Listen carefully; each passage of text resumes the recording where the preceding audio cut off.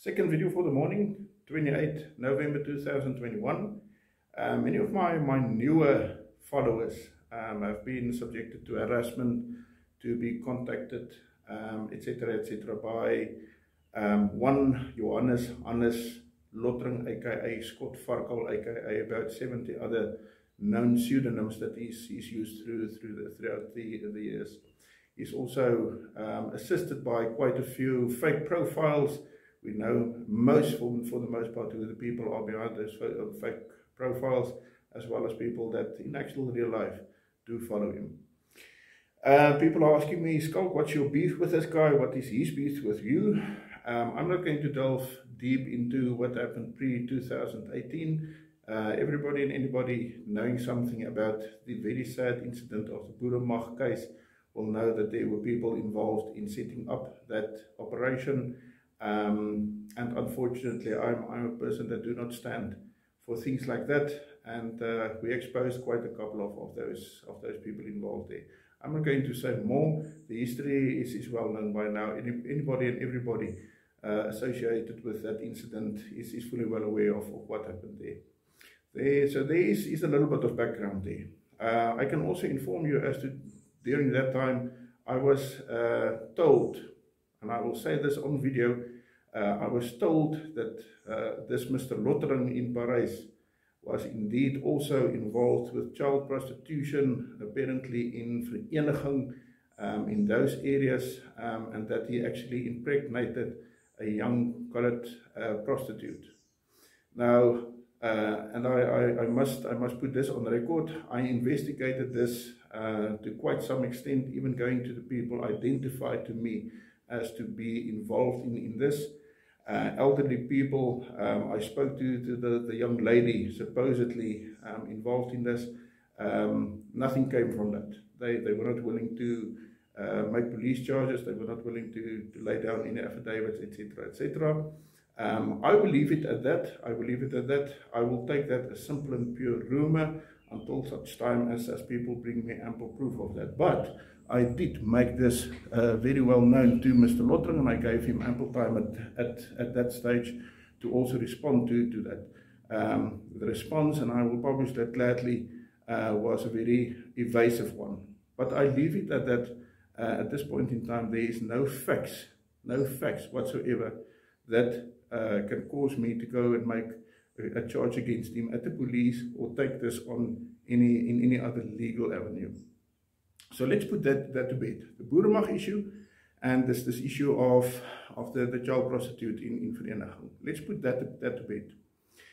Late in 2018, about November 2018, I think Mr. Lottering very well uh, aware uh, of uh, the, uh, the struggle for the Afrikaner, the Boer people, to, to uh, be free in South Africa uh, keeping his eye very close on what is happening so that he can report to whoever he's, he's reporting. And I'm very sure he's reporting. I will get back to that later on in this, this, this video.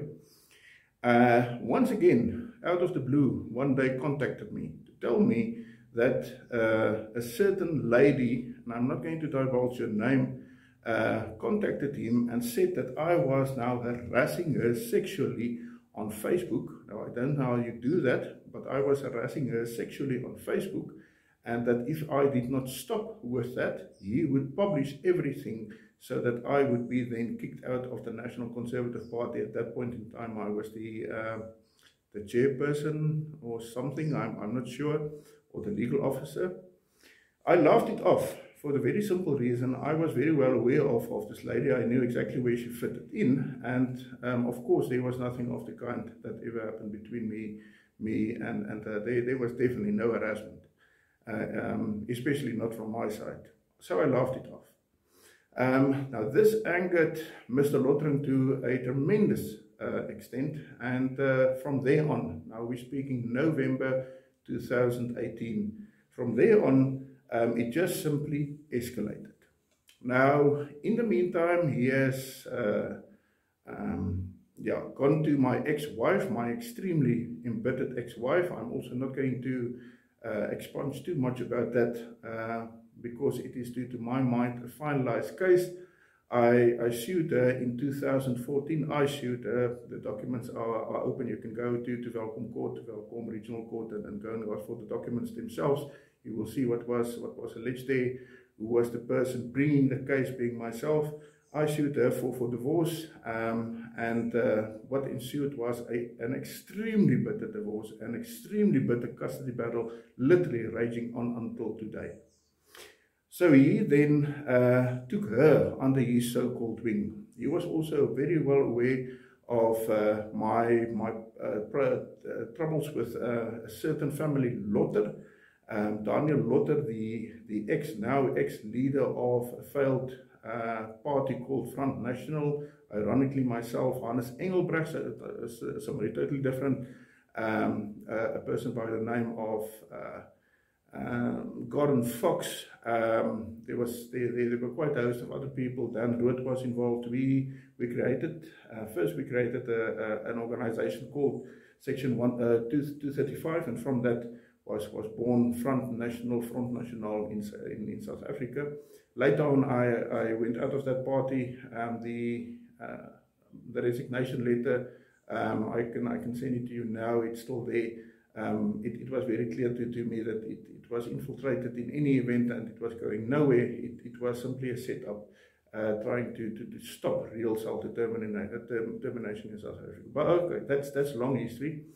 He, he then went and he also took young Lotter and his mother, Babs Lotter, under his wing. I'm speaking of Hannes Lotter now doing this because he knew that the Lotters were extremely embedded in me because I basically destroyed the career path, the political career path of young Lotter in, uh, in, in, politics. Uh, from there on, he went literally to any, any, any person and every person that he thought would be my enemy so that they could all be in this little group trying to, to bring me down and, and uh, trying to uh, spread the, the most heinous of, of rumors against me. Uh, as I said, 2018 until today. Now, the main accusation seems to be that um, I'm, uh, I'm harassing women on Facebook or WhatsApp or whatever medium, I don't know on, on which, which medium. So that, that seems to be the, the main bone of contention. Then apparently now recently through, through all the things of my wife, uh, that I'm not looking after my children, I'm not contributing to my children, uh, and therefore I'm a poor or a deadbeat dad. Um, heinous things has been said about Leonie, somebody that only came into my life 18 months ago. People uh, on their side, on Lottering's side, literally haven't even met Leonie in, in a uh, in, in her person. She's busy now with her own cases against him. It's sub judice. I'm not going to, to uh, divulge anything further beyond where I'm also involved, um, it's it's gone mad. So so it seems to me it's it's the whole thing of me um, harassing women, and I will get to that in a, in a little bit more detail, and me being a dead deadbeat dad. Then there's also all kinds of allegations that I am unemployed and I uh, I'm basically well one day I'm I'm so rich that I I have uh, watch collections of half a million rand, but the next day I, I would read that I'm so poor um, that I can't even afford to, to, to, to own a car. Uh, all kinds of contradictions. I'm, I'm not even I'm not even going to uh, to, to, to respond to, to those nonsense. Um, but those those seems to be the the issues. Okay, let's let's deal with the issue of me harassing women on some platform somewhere. Now, this has been since 2018. So it, it, seems to me as if the allegations is then 2018 or earlier, uh, if, if you think logically about this, this now. There's very little logic on Lottering's side, but let's, let's try to be logic about, logical about this.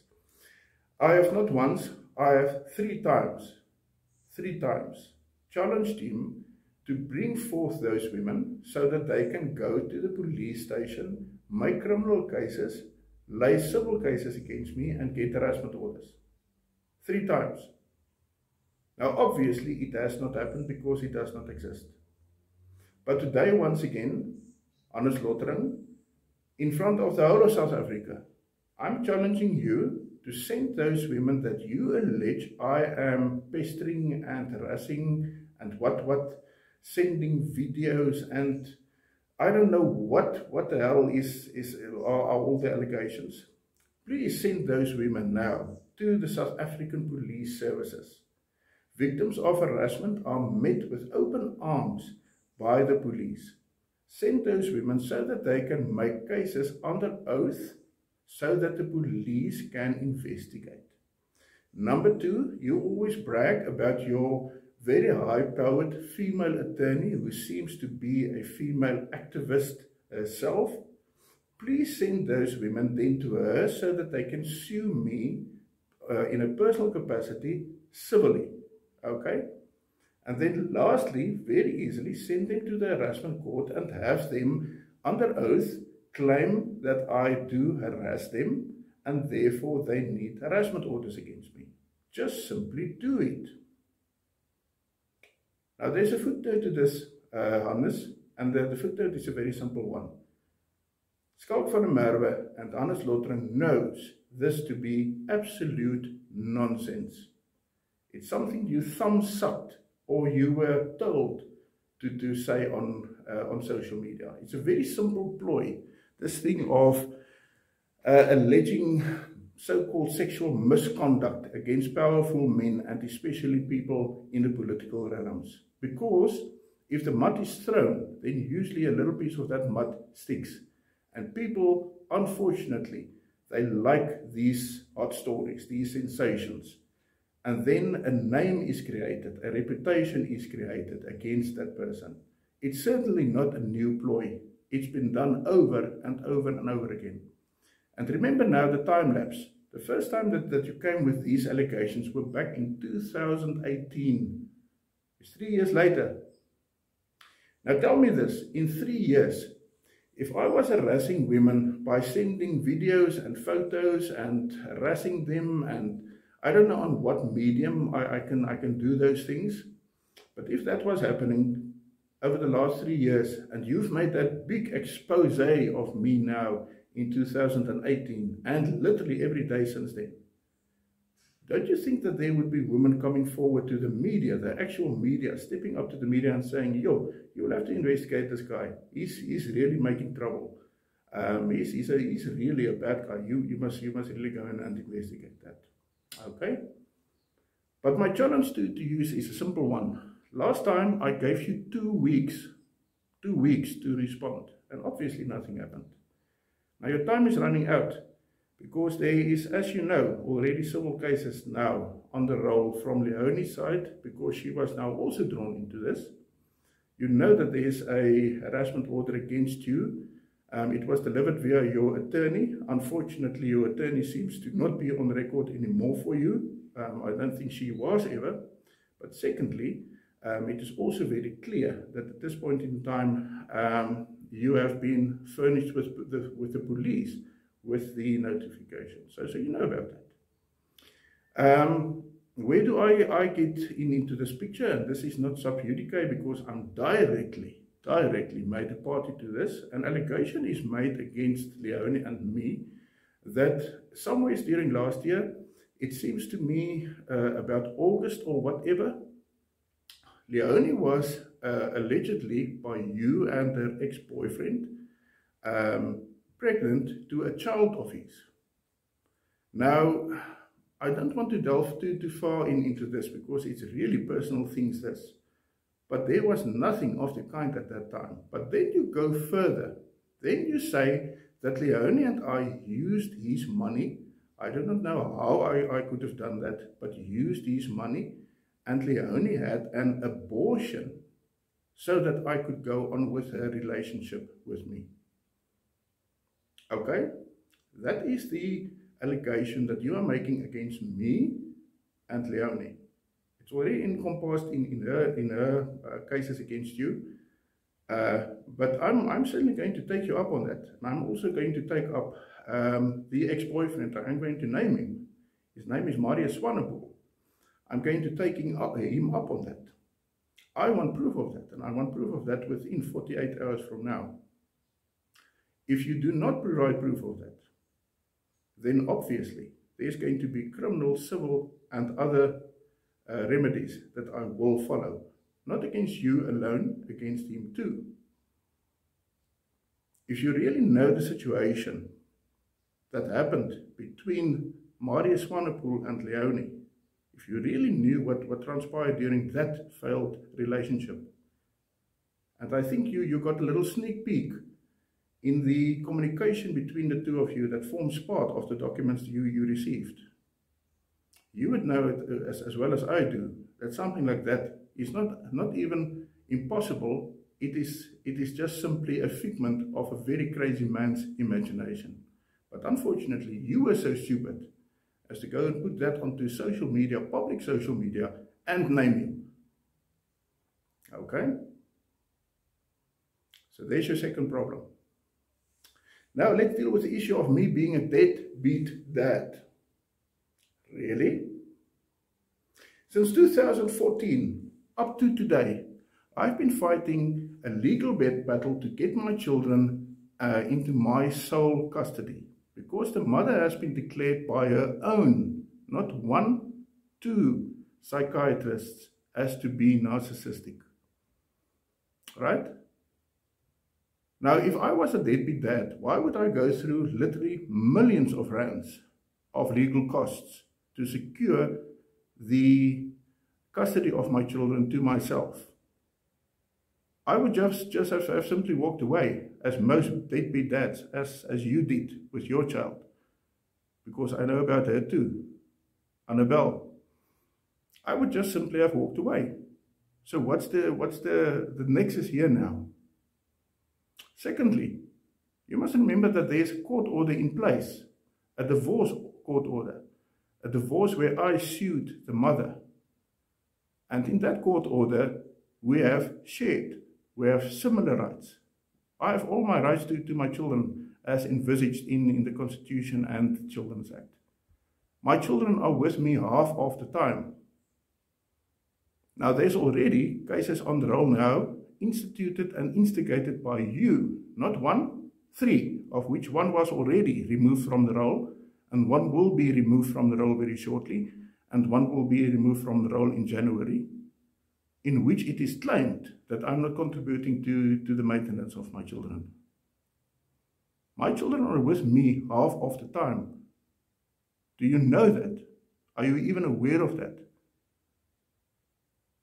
The mother herself and I was not even aware of this, has come out now under oath to say that she resigned from a very highly paid position, took her pension funds, her pension money, to pay off her lawyers, because she has been never endingly litigating against me since 2014.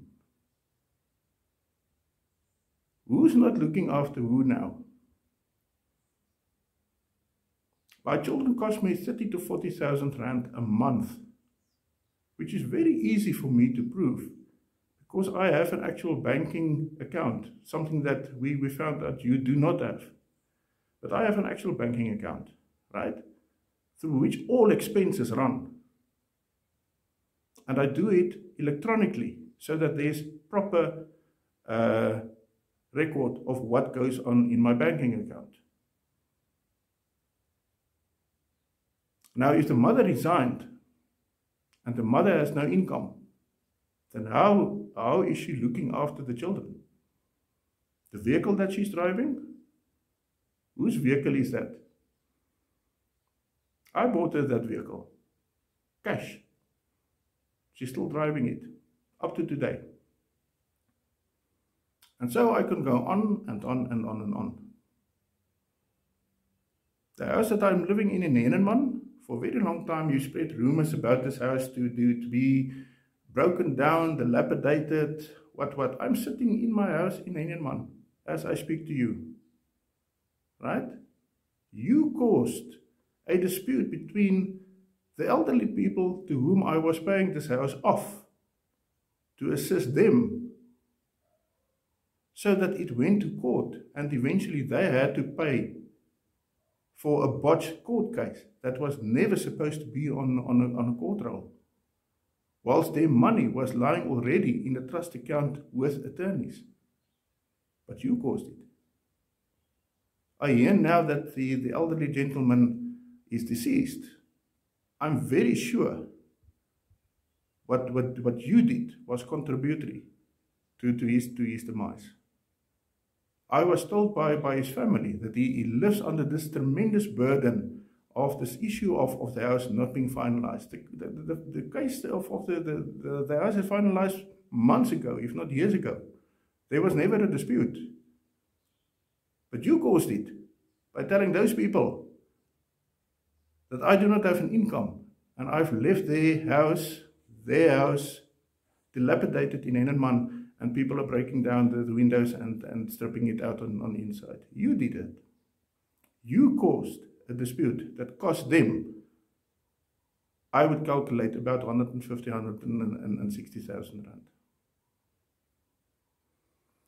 So Lottering, the homework, the homework that, that you need to do for me within 48 hours, those women that you allege I'm doing something with, harassing, what, what, I want those cases, I want those case numbers, I want those harassment orders, and I want them within 48 hours.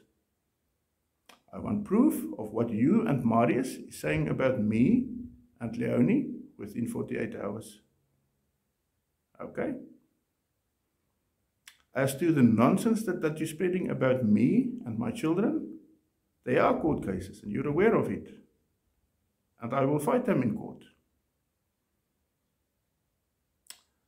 I hope you're aware of the other case that you instigated, the one at High Court. And I don't want to divulge too much because I think that poor person was also drawn into this whole thing uh, totally unnecessary.